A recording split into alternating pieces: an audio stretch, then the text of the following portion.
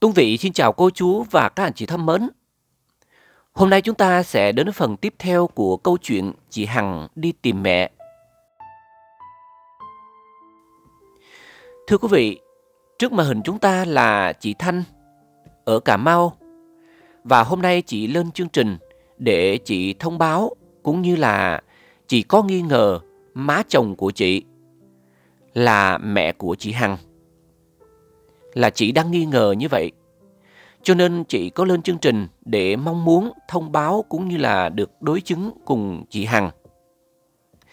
Trước hết là Tuấn Vị rất là hoan nghênh tinh thần của chị.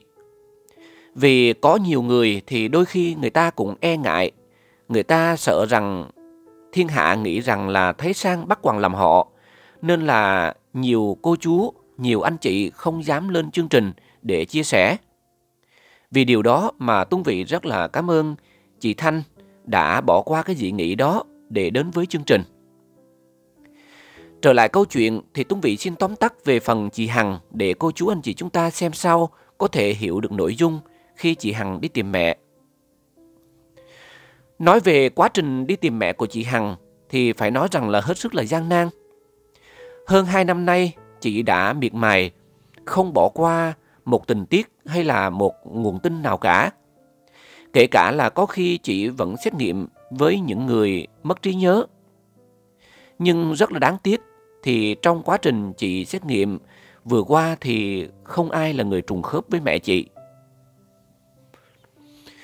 Theo thông tin mà chị cung cấp thì chị nói rằng, khi chị lớn lên thì à, chị vô tình mới biết được chị là con nuôi bởi vì ở trong gia đình cũng hết mực yêu thương.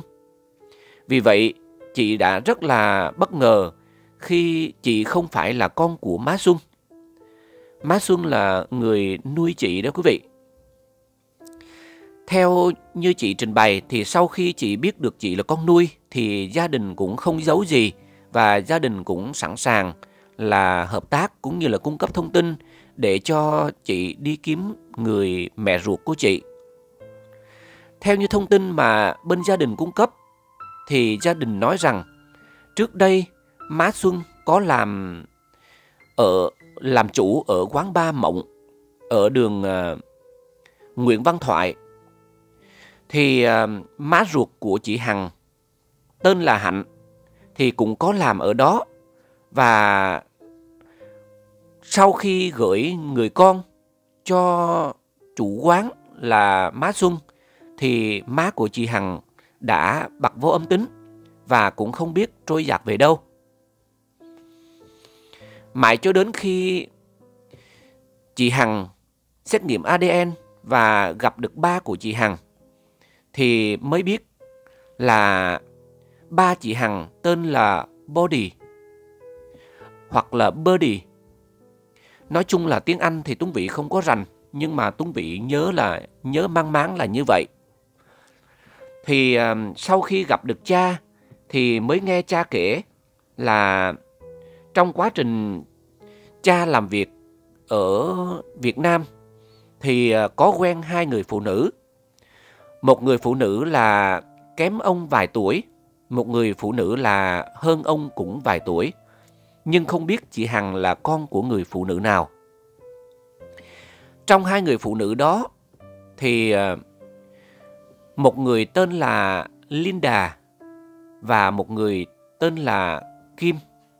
Ông nhớ mang máng là như vậy, nhưng cũng không chắc chắn 100% là như vậy. Chỉ gọi là hơi có ấn tượng về hai cái tên đó. Vì vậy, trong thời gian qua ở trên cộng đồng cũng có những người tên là Linda và cũng có những người tên là Kim có lên tiếng và thậm chí nữa là à, khi có nghe qua sự trình bày của Má Xuân thì cũng nhiều người tên là Hạnh đã lên tiếng nhưng tất cả đều là không trúng.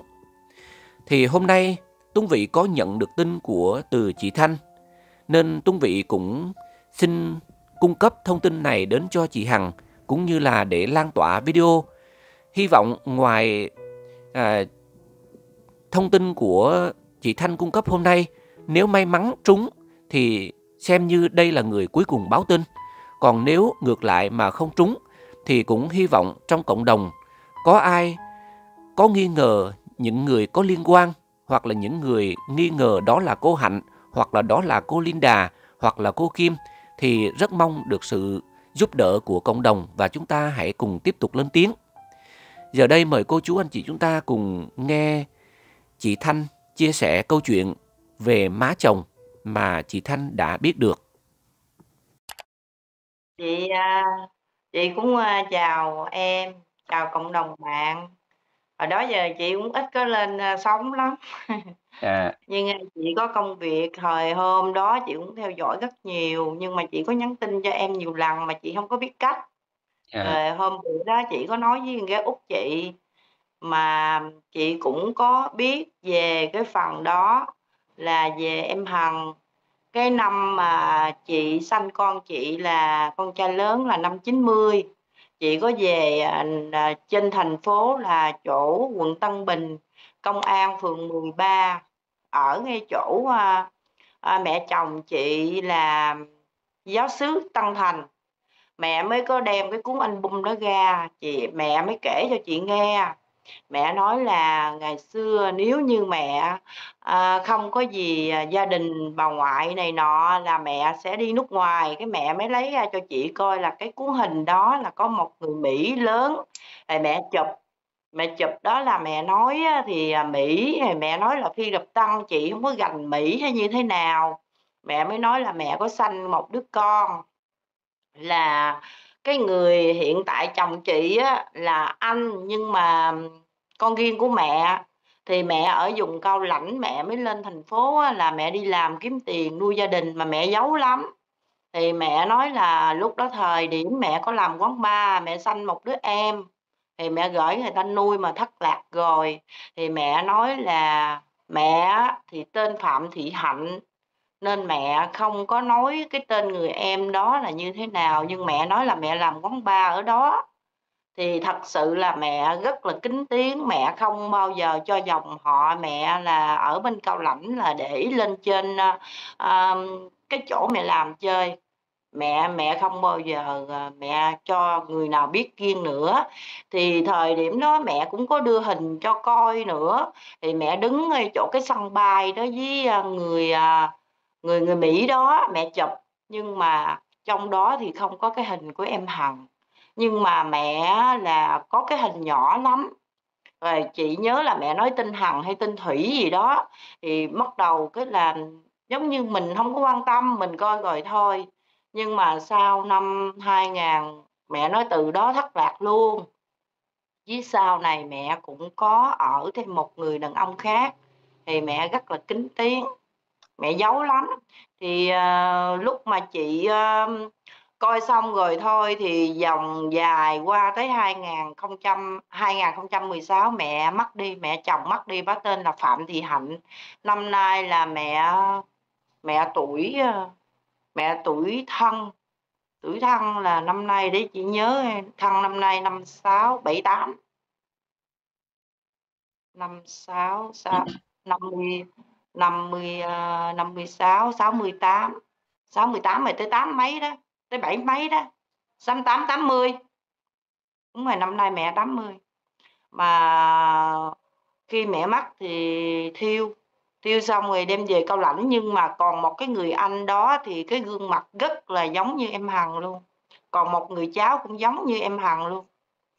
Mà có yeah. Dạ. cái là con cái là mẹ giấu lắm Dạ. Nên mà lúc chị theo dõi của em á, mà đi ra cô Kim này nọ tìm á, chị không biết cách làm sao mà chị biết nhắn vô tại chị không có gành á, không có Dạ. gành máy móc nữa. Thành thử ra chị cũng nhắn cho em lâu lắm rồi, nhắn cho em cái cái này là hình như là trước Tết. Lúc đó chị đi Cần Thơ, chị đi Dạ. với con chị. Thì chị muốn nói với em là mẹ cô chắc ăn làm cô Hằng đó là con của bà Phạm Thị Hạnh. Vì mẹ là sống từ lúc thở mẹ mới bắt đầu có chồng chị là sinh năm 62 là mẹ đã sống ở thành phố sống ở tại Bà Quẹo. Ngay chỗ um, công an phường 16 công an uh, cái đường đó cái giáo sứ Tân Thành đi vô. Đi vô giống như có một cái nhà thờ đó vừa quẹo vô là tới. Cái đó đi lại vào quẹo gần lắm, nhưng mẹ có kể về cái hồi đó là mẹ làm trong ba. Chỉ kể cho chị nghe thôi, tại vì chị là dâu bả kể cho chị nghe Rồi, thôi. rồi chị cho em hỏi chút xíu ha. À, trước hết là em em biết tên chị, chị cho em biết tên chị ha. À, chị tên chị là Nguyễn Thị Kiều Sương, chị ở Cà Mau. À, chị Sương. Dạ, có người gọi chị tắt giùm em chút. Rồi. Dạ, chị Sương hiện tại là ở Cà Mau hả chị? Đúng rồi, chị ở Cà Dạ. Mau. Vậy là chồng chị là quê quê ở Cao Lãnh. Quê ở Cao Lãnh mà chồng chị tên là con riêng của mẹ tên là Trương Nhân Thành, chị có gửi cái hình cho em coi á. Dạ. Rồi, Ừ. chị cho em hỏi nè, vậy chị trước đây chị có nắm được là người mẹ có cho con có cho một người con gái lai nào không? Mẹ nói là mẹ mẹ mẹ sanh một đứa con, tao còn một đứa em mày nữa. Nhưng mà vì mẹ sống, kể hoàn cảnh gì đó, hoàn cảnh Ừm. mẹ lên đó vậy đó là giấu tất cả hết, giấu ngoại đồ, nói chung là mẹ sống trên đó mẹ mần có tiền để nuôi bà ngoại người này người kia ở Cao Lãnh. Tại vì trước kia gia đình của ngoà mẹ là hội đồng điền. Dạ. Sau khi sau khi đó gia đình khổ, rồi mẹ lên đó mẹ đẹp lắm. Nói chung là mẹ hơi lùn hơn em Hằng, nhưng mà gương mặt của mẹ rất là giống như em Hằng luôn. Mẹ tên Phạm Thị Hạnh mà. Dạ, Mẹ và bây giờ là ừm, bây giờ có chị một có còn cái tấm mất. hình nào không? Em xin lỗi. Bây giờ chị có tấm hình nào cũ của mẹ không?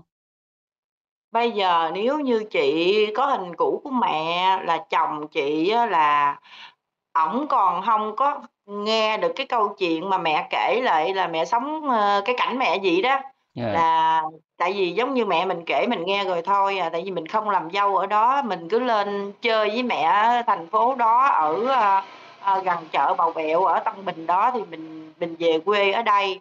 Rồi á là mình cũng hông có cái cái tánh cũng nói chung là chồng mình ít nói, mình cũng hông học đi học lại. Tới sau là em lên phát sóng đó là chị biết liền mà chị nhắn hoài không được. Còn cái Dạ. tấm hình á là để khi chị phải nói với chồng chị là đi về trên Cao Lãnh lục lại. Mẹ chị là nói thẳng ra là với là em Hằng là giống hệt nhau luôn. Vậy là mẹ chị Giống mất rồi nhau. ha. Chắc là mẹ chị mất rồi ha. Bởi vì gói, nếu mà mẹ chị hông mất là mẹ chị hông mất là lúc đó là chị sẽ bay lên Sài Gòn và chị sẽ tìm tới Đồng Tháp, tới em liền luôn đó. Tại vì á là chị biết gành cái đó mẹ có đem ra mẹ coi mẹ mẹ học hành với chị như vậy đó, tự nhiên vô tình lấy cuốn album ra, có hình người đó luôn, người đàn ông đó luôn. Mà chị không biết bây giờ mẹ chị mất rồi, cuốn album đó rất là nhiều, nhưng mà chị coi trong đó chỉ có một cái ảnh người đàn ông đó. Khi mà lên sóng là em đưa cái ảnh cái người Mỹ đó là chị thấy chị nhận ra biết liền, biết liền luôn, chị nhớ À. trực lại liền luôn. Ừm. Cao bự người vậy đó. Dạ. Tại vì mẹ mẹ mẹ chị ra sân bay chụp với người đó luôn chụp ngay chỗ cái ở ngoài sân bay đó, hình như chị nhớ là có chiếc máy bay, ờ, người ta đậu hay sao á, mẹ đậu đó mẹ mới nói, mẹ mới Ừm. nói vậy đó. Ừm. Dạ. Rồi vậy thì, à, chị có nắm được gì thêm không? Ví dụ như là người con đó sinh năm mấy này kia thì chị có nhớ được mẹ kể sinh năm mấy hông? Mẹ kể là mẹ kể đứa con đó thì, ờ, để coi bây giờ anh này là tuổi Dần, năm, ờ, năm anh này sinh năm 62, người đó là chị nhớ hình như là mẹ kể sinh năm năm, ờ, một 1000 để chị nhớ làm sao mà mẹ kể là tuổi tuổi tuổi một là con heo, hay là hay là con chuột mà năm 72 hay là 71 đó, mẹ kể vậy đó. Dạ. Mẹ Thì, đó, ờ, ờ. thì em cũng hỏi thêm coi chị có nhớ được gì thêm để củng cố cái, a, cái hồ sơ, còn cái việc mà mình hổng nhớ thì mình nói hổng nhớ, hổng sao cả. Ừm, Dạ. hông, chị nhớ là vậy đó, mẹ kể vậy đó, là coi Dạ. như là mẹ mẹ mẹ chồng chị đẻ duy nhất là chồng chị với thêm một đứa em gái đó đó. Rồi, ờ, cái việc, ừm, ờ, có nghe nói Mỹ đen hoặc Mỹ trắng này kia gì hông chị? Hông, chị thấy, ơ, mẹ thì mẹ kể cái câu này, mẹ nói, a, a, mẹ quen người này, à, phi hợp tăng, mẹ nói vậy thôi. Chị À, hông phi hợp hiểu tăng, là Mỹ hay là cái gì mà mẹ nói vậy thì mình nghe vậy. Cái thời chị cũng Ừm. như cái lúc đó chị cũng như dân miền quê ở đây Cà Mau mà, chị lên đó thì, ờ, ờ, thời điểm đó chị đẻ đứa con đó thì, ờ, năm, chín lên 93 thì chị tầm chị cũng được 24, 25, nói chung là khờ. mình không biết Mỹ như thế nào mà Phi Luật Tân như thế nào hay là người nước Dạ. nào như thế nào hông biết. Em em Ờ. cũng vậy, em em cũng hổng rành, em cũng hổng rành về cái việc việc đó. Dạ. Ừm. À, thì, à, hổng sao, mình biết cái gì thì mình nói cái đó, còn Ừm. nếu ví dụ như mà trúng ở chỗ chị Hằng thì tốt, còn ngược lại không trúng đó thì cũng hy vọng nếu mà ai thấy nó khả thi thì người ta lên tiếng, người ta muốn xét nghiệm này kia thì em báo cho chị. Dạ, nếu mà tại vì chị ở đây á, chồng chị bây giờ thì ổng làm, ổng về Đầm Dơi ổng làm ở dưới, còn chị thì ở tại thành phố Cà Mau. Mà nếu như bây giờ á, chị có thể mà chị có thể mà chị có dịp đi về Đồng Tháp Đồng Cao Lãnh á, thì chị có thể lục cái cuốn đó ra, mà chị sợ cái cuốn đó khi mẹ mắc rồi sợ, kiểu như, bỏ trên Long Khánh, trên nhà dì Tư hay là đốt bỏ thì chị chị chị không có quan tâm cái đó, tại vì cái đó là khi mẹ mắc rồi hông có quan tâm mấy cái đó nữa, tại vì mình cũng hông sống chung. Dạ, Đó, chừng nào ấy thì chị còn hỏi giùm, chị hỏi giùm coi ờ, thử ở đâu. Ừm. Còn, ờ, còn chị nghĩ mà mẹ chị mắc rồi á, anh này á, xét nghiệm á, thử á, có đúng hông? Dạ, Có được được chứ chị, gọi là cùng Chị một hả? mẹ cùng một mẹ sinh ra là kê hà. Đúng, đúng, đúng. Rồi chị, chị gửi lại cái hình á, chỉ của anh của người đó và người cháu út, ơ, cháu là con anh này giống hệt em Hằng luôn. À, vậy hả Coi mà coi mà coi mà lúc chị đi Cần Thơ mà chị kể mà chị, à, con chị nó 28 tuổi rồi, nó cũng chưa chồng, nó coi mà tự nhiên mà nó cảm động, nó nó nói quá trời giống bà nội với con giống giống cô quá. Mà À. mẹ chia kế ganh mà, tại vì nói chung là mẹ chị với mẹ chồng bả sống vì cái hoàn cảnh, rồi á là bả kín tiếng, bả rất là làm kiếm tiền. Tiền bả làm là trong ba mà, bả kể mà, bả làm trong ba thì bả nói là bả làm ở Sài Gòn này, nhưng mà bả nói là bả gửi bả gởi con á là bả nói bây giờ á hông biết đâu tìm, bả nói vậy thôi, bả chỉ trả lời với chị vậy thôi. À, chị có có biết là chị có biết là mẹ chị làm trên đó được khoảng bao nhiêu năm không? Mẹ không nói bao nhiêu năm. Ừm. Mẹ không nói. Ừm. Dạ. Tại vì mẹ chỉ kể, tự nhiên vô tình mẹ kể thôi. Mẹ kể là bây giờ em nghĩ đi mà 30 31 năm mà chị còn vẫn còn nhớ cái lời kể của mẹ như vậy đó. Thì mình nghĩ lúc đó thì mẹ bả kể vậy thì mình nghe vậy thôi, chứ mình cũng đâu có dám hỏi tò mò điều gì. Tự nhiên rồi cái đem cuốn album ra coi rồi mẹ bả nói vậy đó. Dạ. Ờ. Thật ra thì chị Hằng chị cứ chờ hoài, chờ các cái nguồn tin coi thử có cái tin nào hay không. Nhưng mà chị thời nói gian dạ, thời gian gần đây thì không có. Vì vậy cho nên là bây giờ có được cái cơ hội nào là chị trân trọng và chị cũng, ơ, chắc chiu cái cơ hội đó. Thì trước trước tiên á, thì, mẹ chị có cho một người con gái và con lai là cái điều đó là cũng, ờ, cũng cũng có cái cái cơ sở để mà có thể thử ADN cùng nhau. Là là chị theo dõi em, ờ, tất cả, coi như là chú báo, chú bá hay bất cứ này kia, nhưng mà chị không bao giờ coi là coi hoài luôn, coi cũng khóc luôn nghe. Nhưng mà cái là vừa thấy em Hằng là chị chị nhớ trực liền, tại vì á mẹ mẹ của của chị kể là bả tên Phạm Thị Hạnh à, nhưng mà Dạ chị, em em xin lỗi nha, sao con chó nó sủa dữ vậy? Con chó bên nhà xóm, em em tránh qua con chó nó sủa. Tại vì người ta đi vô cái viện chó hàng xóm. Rồi, thì Rồi, à, để em, ơ chị à. chỉ gửi mấy tấm hình qua cho em, rồi em gửi Dạ. cho chị Hằng, đồng thời em gửi Dạ. cái câu chuyện này tới cho chị Hằng tham khảo. Thì, à, em Ừm. nghĩ, ờm, đối với chị thì hổm giờ chị cũng tha thiết đang còn chờ tin. Và, khi nghe được cái tin này á thì là đương nhiên theo cá nhân em á, thì là nó cũng, ưm, cũng nó hơi, ưm, hơi, ơ, trắc trở một cái là do mẹ của chị mất rồi. Và bây giờ nghe qua lời kể của chị thì, ờ, thì cũng hông phải là hông tin lời chị, nhưng mà có một cái là cái Ừm. kết quả cuối cùng chúng ta vẫn phải là ADN, à, chứ còn nói Dạ, đúng rồi. ờ, dạ, phải Tại vì, ờ, mới được. bởi vì chị muốn hỏi em á là một người, ờ, người đó là con của mẹ đẻ ra là tên là Trương Nhân Thành, sinh năm 62. Mẹ kể rành mà mẹ nói là mẹ còn một đứa em gái như vậy mà, ờ, chị nhớ là mẹ kể là sinh năm á 71, ờ, với 72 đó, mà nhớ là mẹ kể sinh năm 71. Chị nhớ như vậy đó, thì Dạ. mẹ kể vậy đó. Thì, à, À. vậy đi rồi, à, chị gởi cái kia cho em, rồi sau này có gì chị nói thiệt chị rất bảo đảm là em Hằng không bao giờ tìm tìm còn mẹ, tại tại vì chị nghe mẹ kể rõ lắm, mẹ kể cái có Ừm. là mẹ đi làm ở đó mẹ đẹp lắm, cái tướng mẹ cũng hơi thấp hơn em Hằng, gương mặt rất là giống em Hằng nhưng mà rất tiếc là bây giờ hình chị không có lấy về đây. Tại vì xưa mình cũng hông có quan trọng gì đó, của ai thì mình để cho nấy vậy đó. Dạ. Vậy ha em? Dạ, kê chị, rồi, à, để em Dạ. chuyển tải câu chuyện đến cho chị Hằng, rồi, à, chị Hằng có yêu cầu gì thì mong chị hỗ trợ nha.